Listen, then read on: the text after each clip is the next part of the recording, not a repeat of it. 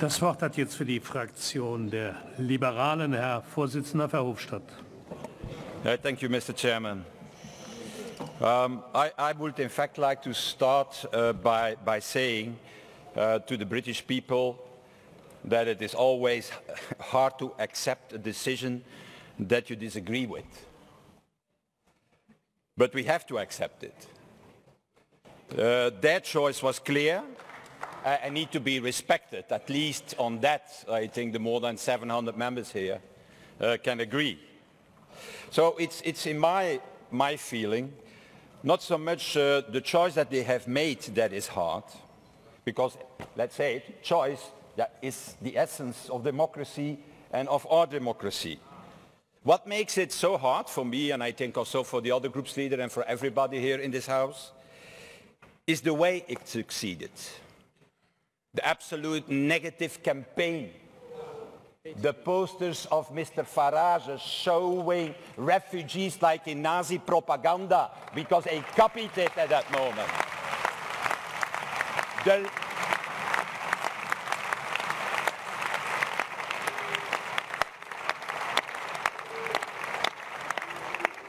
I never thought it was possible that somebody in this house should do a thing like that.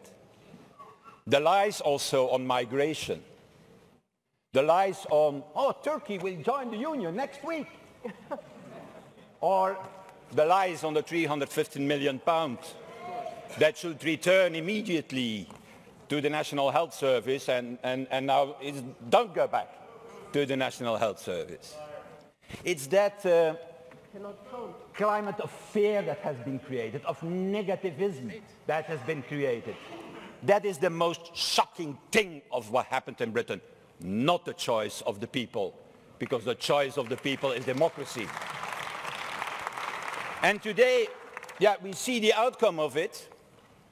Uh, a multi-billion loss in stock market value, a dramatic drop of the pound. Yeah, it goes down when you speak, uh, Mr. Farage. Uh, wait a little bit.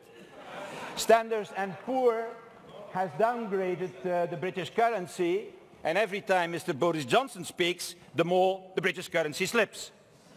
So the Brexiteers, and they also here in the House, uh, and Mr. Kamall will tell us, yeah, but it's only a temporary setback. It's only a little glitch. I don't know. I hope for us all it's only a glitch. But uh, what I do know is that we need the fastest as possible to end this uncertainty as soon as possible. That is needed now. And the worst thing that can happen is to continue this uncertainty.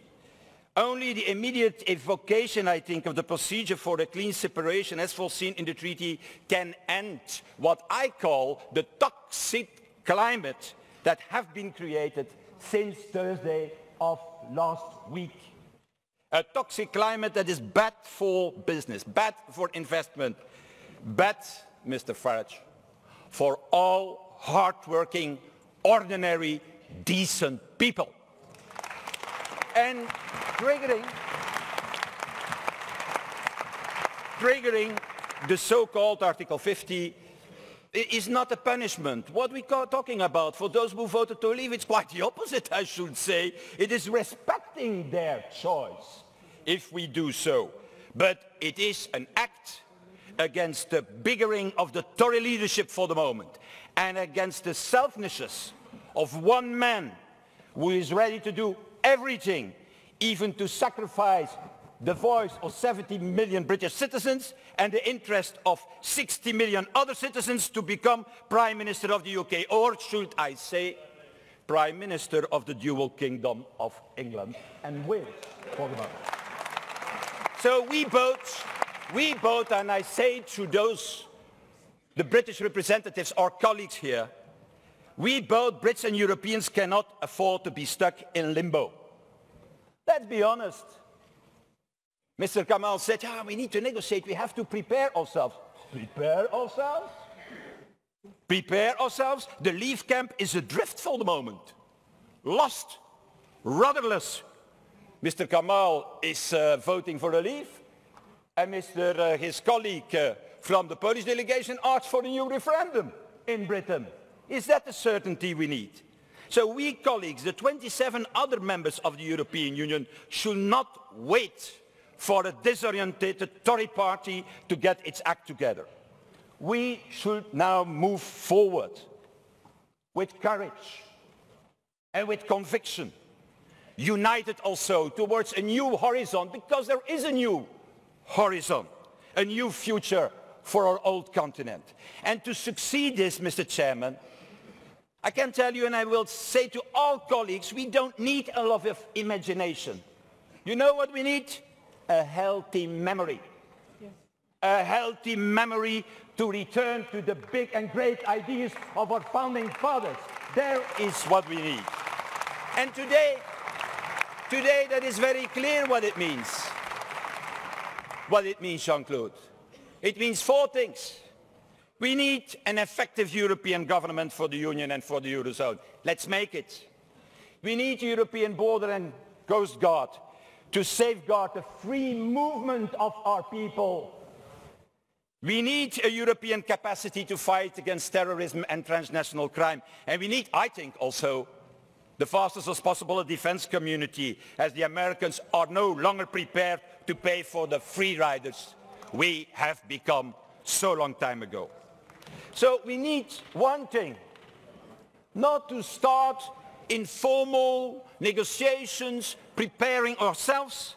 We need to show to the people of Europe that we are capable of building a new and better Europe, a union that can really address the many crises that face. In short, and I conclude, let us do for one thing a thing that is un-European and exceptional.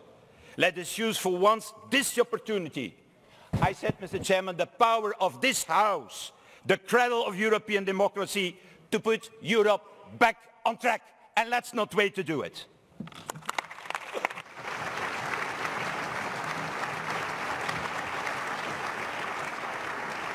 Für die liberale Fraktion spricht jetzt Herr Verhofstadt. Very, very, short, Mr. President. By the end of this debate, I want to make an appeal to the, to the members uh, present here uh, to uh, send now a strong message uh, to the European Council uh, and uh, to, the, to the European citizens. And the best way we can do that is to vote massively, massively, the resolution we have prepared for this session. and not to start uh, to say, oh, this or this, I don't like it. What is now politically important is a massive vote in favor of that resolution. And my last thing will be uh, to Mr. Farage saying that I'm shocked, Mr. Farage. You are presenting yourself here as a defender of uh, the, the, little man, uh, the hard worker, while you have an, uh, an, offshore financial construction. I don't think that all citizens have offshore financial constructions uh, in, in, in Britain. But, okay, let's be positive. Finally, we're going to get rid of the biggest waste in the budget of the Union, that we have paid for 70 years your salary. Thank you.